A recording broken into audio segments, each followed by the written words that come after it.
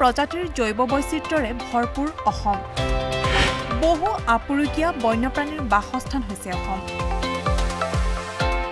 অসমৰ বনাঞ্চলসমূহত পোৱা যায় বহু মূল্যৱান উদ্ভিদ তথা বহু দুষ্প্ৰাপ্য প্ৰজাতিৰ প্ৰাণী।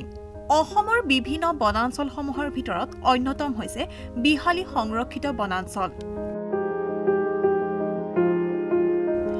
অসম অৰুণাচল সীমান্তৰ বিশ্বনাথ জিলাৰ পূব হিমালয়ৰ পাতগিৰিত অৱস্থিত এখন ক্ৰান্তীয় চিৰসেউজ বনাঞ্চল হৈছে বিহালী সংৰক্ষিত বনাঞ্চল। প্ৰাৰম্ভিকতে বিহালী সংৰক্ষিত বনাঞ্চলখন এশ চল্লিছ বৰ্গ কিলোমিটাৰ ক্ষেত্ৰফলেৰে আগুৰি আছে যদিও আধুনিক বিজ্ঞান আৰু প্ৰযুক্তিবিদ্যাৰ দ্ৰুত অগ্ৰগতিত আৰু জনসংখ্যা বিস্ফোৰণৰ ফলত মানুহে বনাঞ্চল ধ্বংস কৰা পৰিলক্ষিত হৈছে। যাৰ ফলত বৰ্তমান আশী বৰ্গ কিলোমিটাৰ ক্ষেত্ৰফলেৰেহে আগুৰি আছে এই বনাঞ্চলখন। যি সময়ত চৰকাৰে বন সংৰক্ষণৰ বাবে বিভিন্ন ব্যৱস্থা হাতত লৈছে ৰায়মনা আৰু দিহিং পাটকাৰীক ৰাষ্ট্ৰীয় উদ্যানৰ মৰ্যাদা দিছে তেনে সময়তে বিহালী সংৰক্ষিত বনাঞ্চল ৰক্ষাৰ বাবে দাবী উত্থাপন হৈছে বিশ্বনাথত। বিশ্বনাথত দাবী উত্থাপন কৰিছে বিহালী সংৰক্ষণ বনাঞ্চলখন অভয়াৰণ্যৰ দাবী।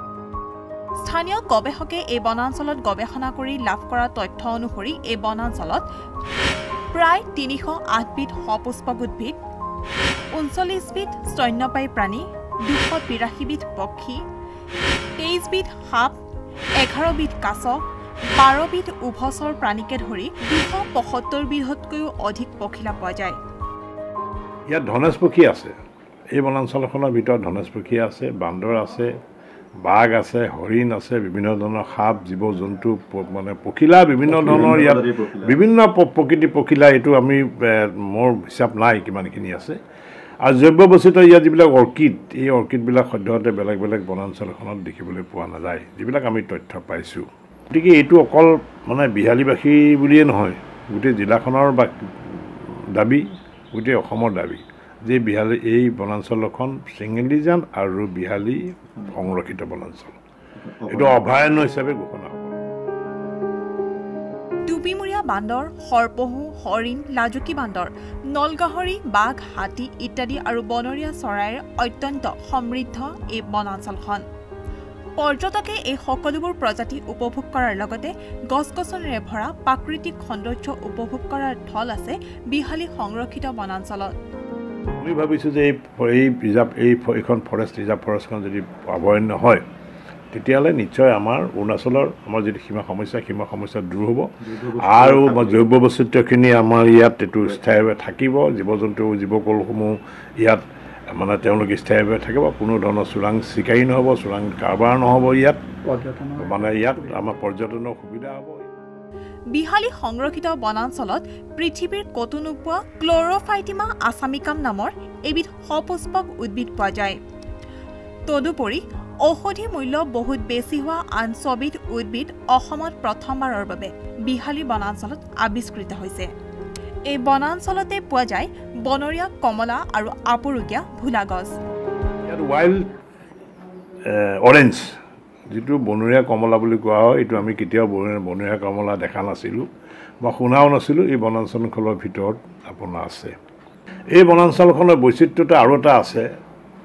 ইয়াত বোলা বুলি যিটো আপুৰুগীয়া গছ এই বোলা গছ আপোনালোকে এই বনাঞ্চলৰ বাহিৰে বেলেগ বৰ্তমান দ্ৰুত জনসংখ্যা বৃদ্ধিৰ ফলত কৃষিৰ বাবে মানুহে হাবি বন ধ্বংস কৰি খেতিপথাৰ মুকলি কৰাৰ বাবে বনাঞ্চলৰ জৈৱ বৈচিত্ৰ্য বিপনাপন্ন হ'বলৈ ধৰিছে। আনকি চোৰাং চিকাৰৰ ফলস্বৰূপেও আপুৰুগীয়া গছ আৰু বন্যপ্ৰাণীৰ সংখ্যা দিনক দিনে কমি গৈছে। যাৰ ফলত জৈৱ বৈচিত্ৰতাৰ প্ৰতি ভাবুকিৰ সৃষ্টি হৈছে।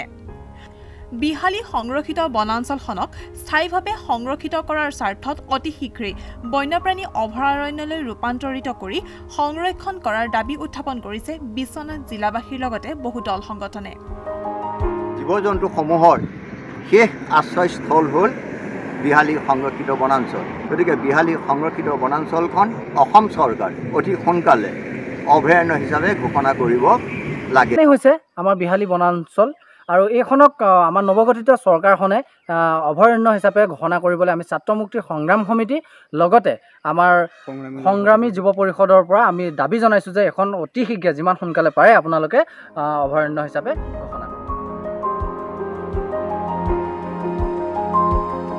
এক কথাত ক'ব পাৰি যে বিহালী সংৰক্ষিত বনাঞ্চলখন অভয়াৰণ্যলৈ ৰূপান্তৰিত হ'লে অসমৰ জৈৱ বৈচিত্ৰ্যৰ লগতে পৰ্যটন ক্ষেত্ৰৰো যথেষ্ট চহকী হ'ব।